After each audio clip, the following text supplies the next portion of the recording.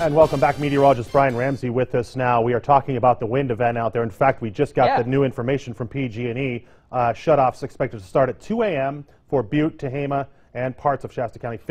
15,000 people affected there. Yeah, and then there's going to be more shutoffs at 4 p.m. for other areas farther south in Butte and Plumas County as well. So, uh, but it's all because of the winds. Yeah. So the winds, red flag warning uh, out there right now, starting tonight, lasting through Monday, and you can see the winds blowing around a bit from our North Chico camera. Even the power lines kind of bouncing around out there. Uh, the winds were blowing a little stronger earlier. They've calmed down just a little bit, but again, that red flag warning hasn't taken effect yet. It doesn't take effect until tonight. Uh, it actually takes effect at 9 p.m. across parts of the valley. A little different the farther north you go, but overall, you can see pretty much the entire area. We got uh, strong north winds coming in and strong east winds blowing towards the west. So those are downslope winds. Those downslope winds are dry winds because whenever air drops, it dries. So you get very dry humidity, 10 to 20 percent tomorrow through Monday. And again, those winds could gust 40 to 45 miles per hour. Some of those gaps and canyons, such as Jarbo Gap, could gust up to 55 miles per hour. Now, the sustained wind gusts across the area, not too many measurable wind gusts. That's the good news with 18 mile per hour gusts in Oroville, 20 in Corning.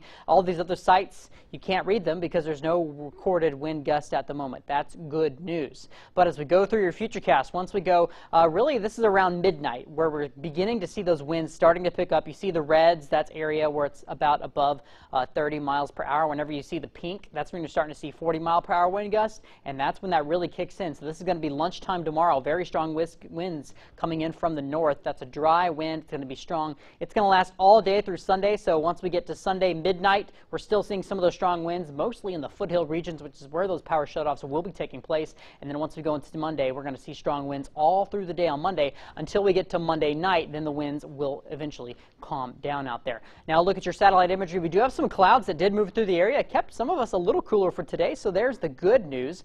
Uh, as far as the air quality, the air quality is looking improved because those winds have gotten a lot stronger. Now, uh, 90 right now in Redding, 89 in Oroville, and 60s and 70s in many of the mountain regions. Tonight and tomorrow, though, across the lower Klamath Mountains, we're going to see highs getting into the 80s out there. And then tomorrow in the mountains and the Sierra foothills, probably just 70s out there on the ridge. Again, 80s for those high temperatures. Staying sunny all day, very windy as well. In the Sierra foothills, we'll see highs in the 80s as well.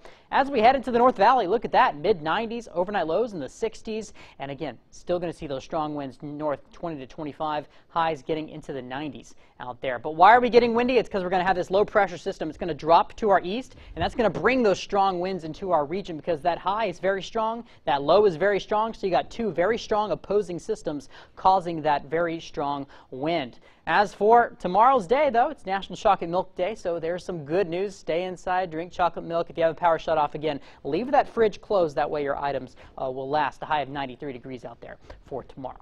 As we get to your seven day forecast in Chico, high of 96 degrees for tomorrow, 97 for Monday, and then we're getting pretty close to 100 degrees by Wednesday. That's going to be the hottest day of the week, and then possibly cooling back down by next weekend. As for Redding, 95 degrees for that high tomorrow, high fire danger Sunday and Monday, and then getting into the triple digits Tuesday, Wednesday, and Thursday, but possibly dropping back into the mid 90s by next weekend.